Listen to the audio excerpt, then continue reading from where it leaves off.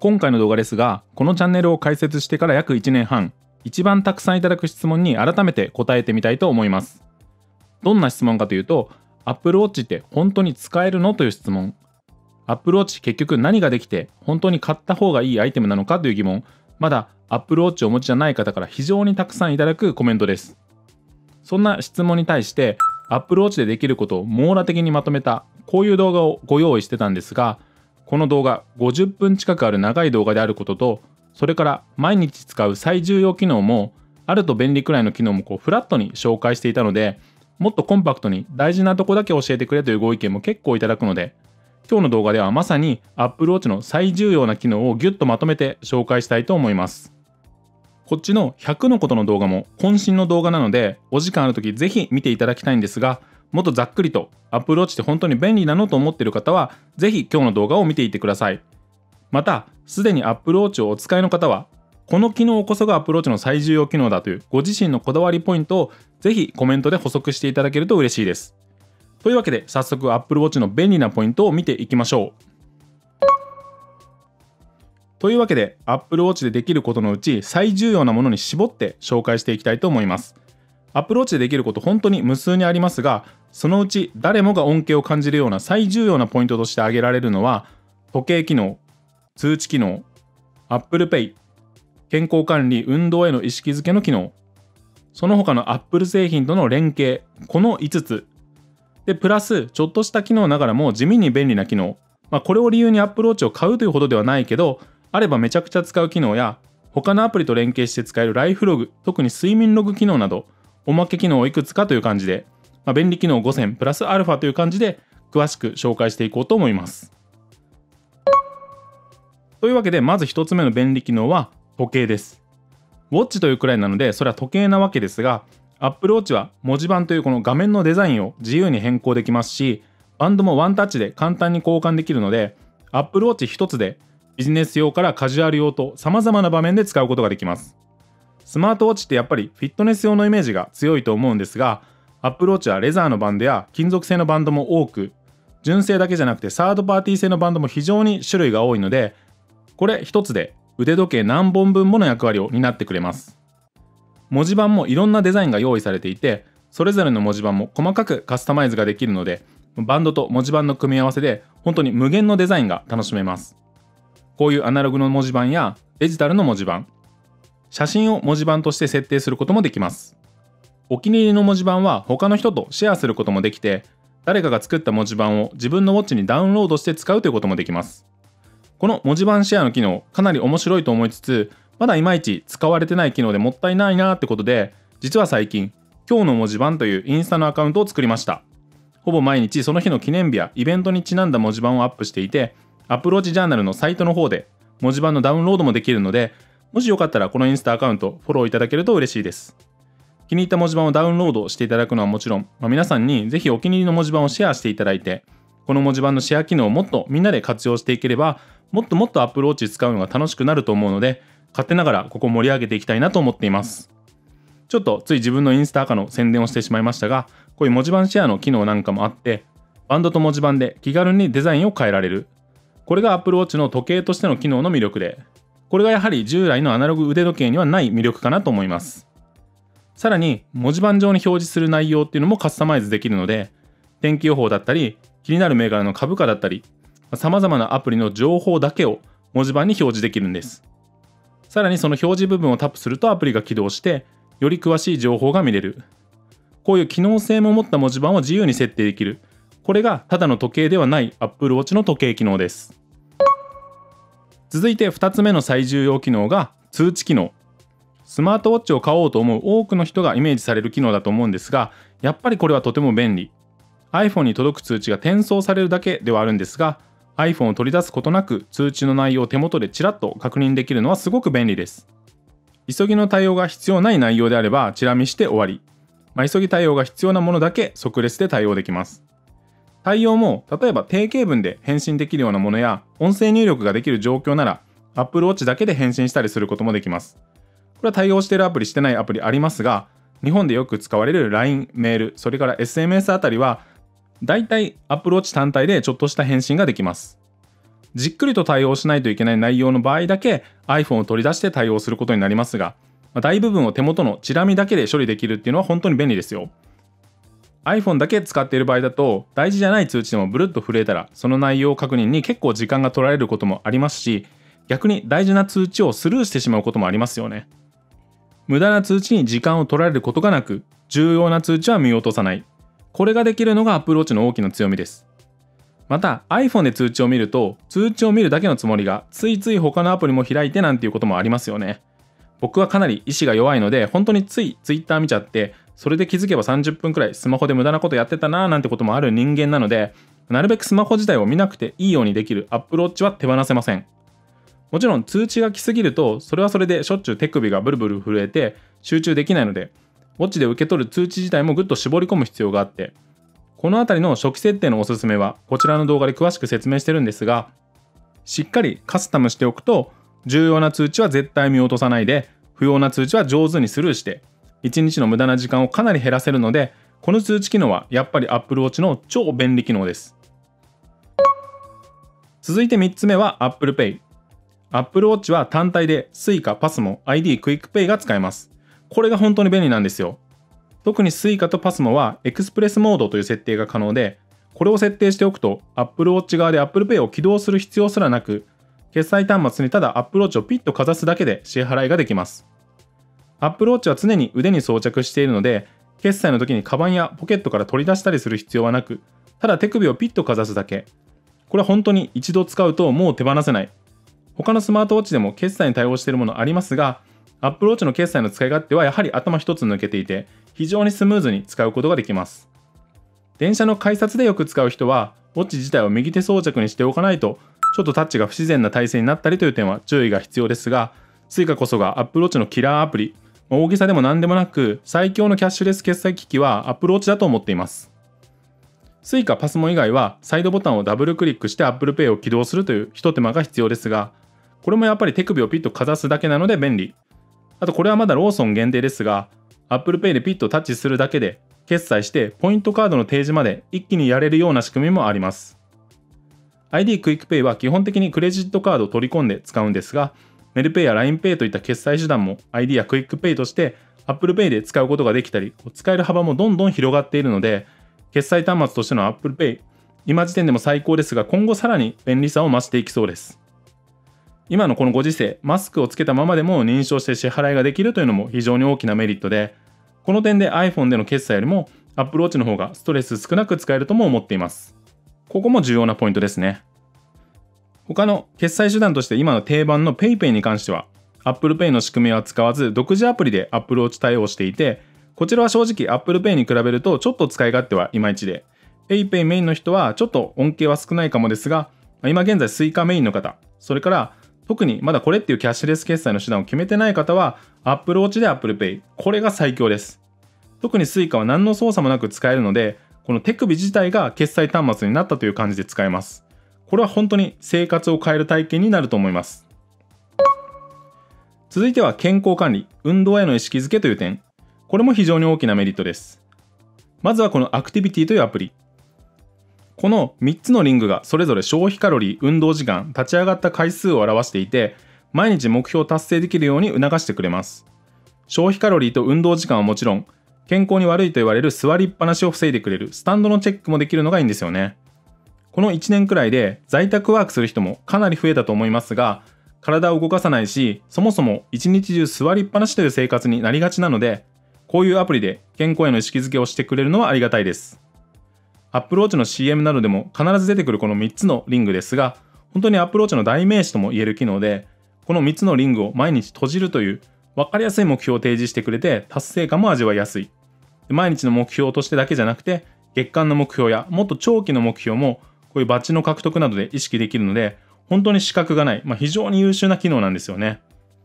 他にも健康系で言うと、心拍数を計測して異常があった場合通知してくれたり、転倒、まあ、転んだり倒れたことを検知した上で、そのまま動かなかったら、119の通報してくれる機能などもあります。またこれはモデルにもよりますが、心電図を計測したり、血中酸素濃度を計測するような機能も用意されています。個人的には心拍数のアプリと連携する呼吸のアプリを使うことが多くて緊張するようなプレゼンや面談など呼吸アプリで自分の心拍数をチェックしつつ落ち着かせるような使い方もしています。不思議なもので深呼吸して心拍数がしっかりと下がっていることをこう数字として確認できるとあちゃんと自分が落ち着いてきてるとより自覚できるせいか緊張がより和らぐんですよね。あともちろん心拍数がより役立つのは運動の時。Apple 純正のワークアウトアプリっていうのがあってランニングウォーキングサイクリングといった目標はもちろん非常に様々な運動のデータを計測してくれます。水泳の記録なんかにも対応しています距離やカロリーなどいろんなデータがこれで取れるんですよね Apple 純正以外にもランニングの定番ナイキランクラブやアンダーアーマーのアプリは独自のスマートランニングシューズと連携するものがあったり、サードパーティーアプリもかなり充実しているので、このあたりも活用すると運動の記録はバッチリです。という感じで、日々の活動量計として、心電図などを計測する本格的な健康管理機能として、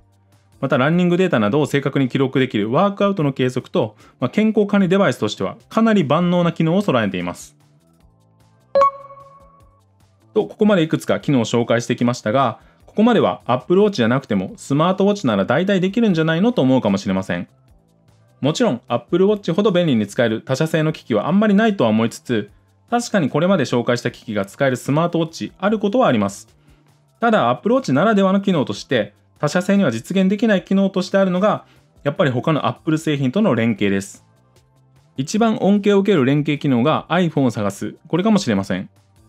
iPhone をどこに置いたかわからなくなってしまった時 Apple Watch からこんな感じで iPhone の音を出して場所を特定したり LED を光らせて場所を特定することができます地味な機能ですがこれがめちゃくちゃ便利で本当によく使えますそれから Apple 製品のログインをサポートしてくれる連携機能も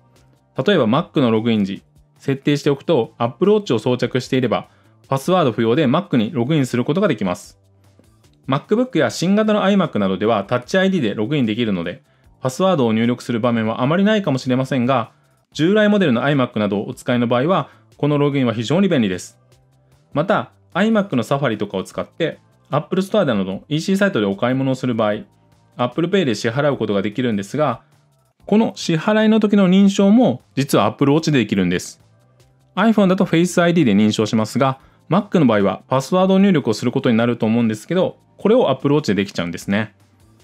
また、これは現時点ではまだリリースされてない機能なんですが、iPhone のログインと連携できる機能っていうのがリリース間近です。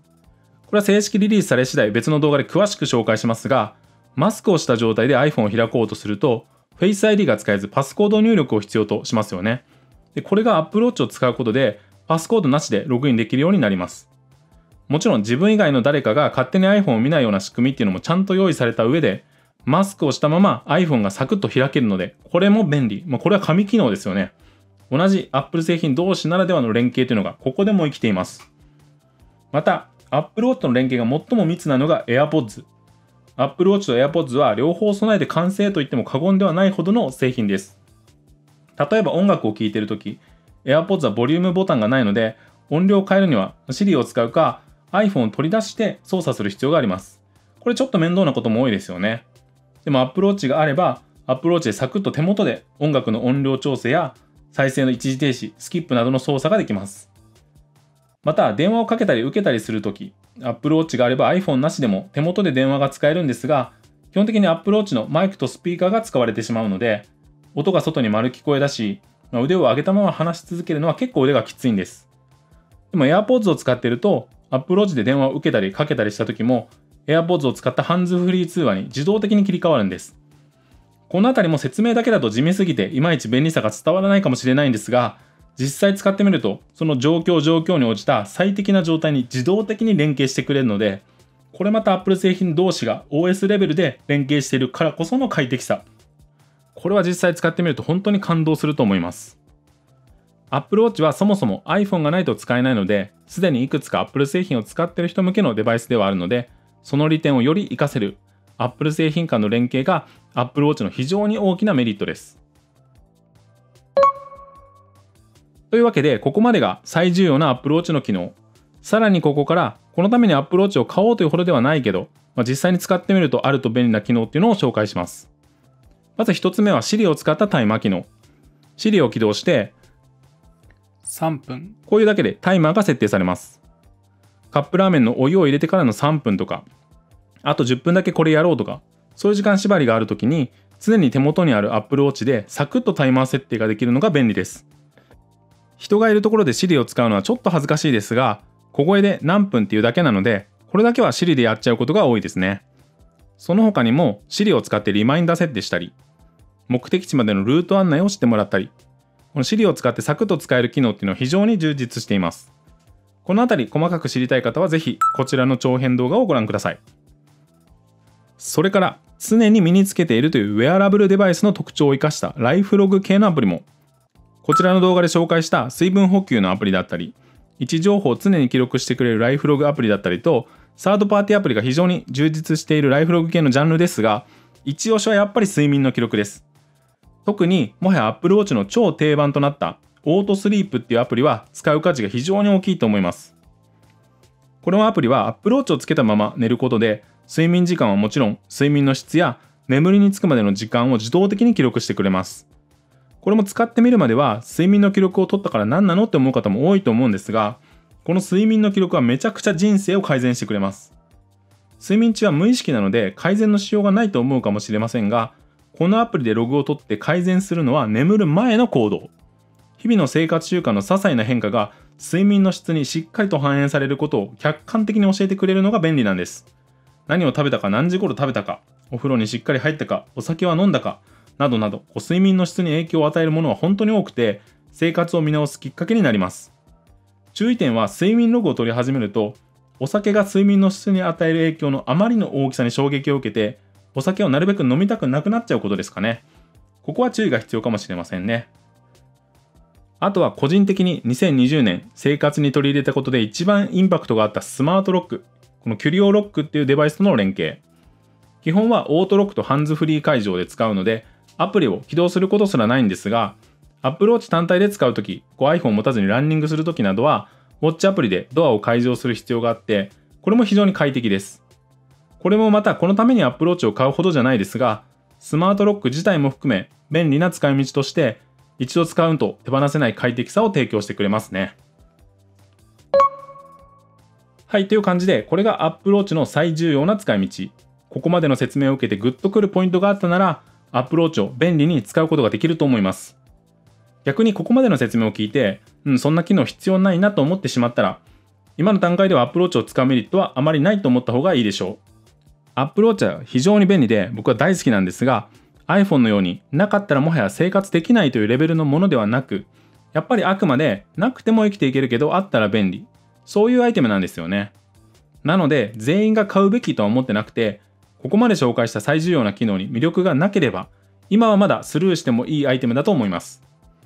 逆に Apple Watch は一度使ってしまうと、もはやこれがない生活考えられないくらい便利で、なくても生きていけるのであれば、むしろ知らない方がいい。まあ、知ってしまうともう元の生活には戻れないので、その点ある意味危険なデバイスです。中毒性が高いんですよ。なので、ここまでの説明を聞いて、まだ必要ないかなと思うんであれば、まだ今の段階ではスルーしましょう。というわけで最後ちょっと脅しみたいになっちゃいましたが、それくらい生活を変えるデバイスだと思うんです、Apple Watch。実際使ってみないとなかなか魅力が伝わりづらいアイテムなんですが、一度使ってしまうと本当にびっくりするぐらい生活に密接に関わってきて、もうつけているのが当たり前。これがない生活は考えられなくなります。その要因がやっぱり通知、Apple Pay、健康系の機能、Apple 製品との連携、そして常に身につけていたい機能があるからこそどんな気分、どんなシチュエーションの時でもつけていられるように、非常に高いカスタマイズ性を持っていることも大きな魅力になるというわけなんです。この便利さ、少しでも興味を持った方は、次はこの動画で早速どのモデルを買うかの検討してみましょう。という感じで、よくいただいていた質問、アプローチって本当に便利なのに対する回答は、伝わりにくいと思うけど、びっくりするほど便利だよということでした。という感じで、このチャンネルではアプローチに関する様々な情報をわかりやすく説明しています。今回の動画が役に立った方は、ぜひ高評価のクリックをお願いします。というわけで以上 Apple Watch ジャーナルでした。バイバイ